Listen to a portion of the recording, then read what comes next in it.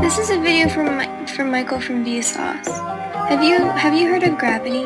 If you haven't, then you're taking advantage of it. We are running out of gravity. I noticed this when I started running, and then soon after, I started losing my breath.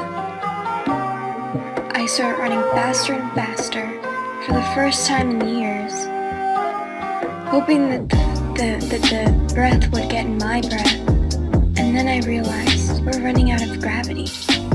This is something that we need to stop. Gravity, we're all taking advantage of it. We need to quit gravity for a little bit.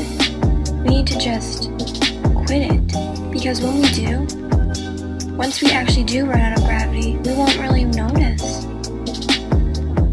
Thank you guys for watching, especially you, from Vsauce. You are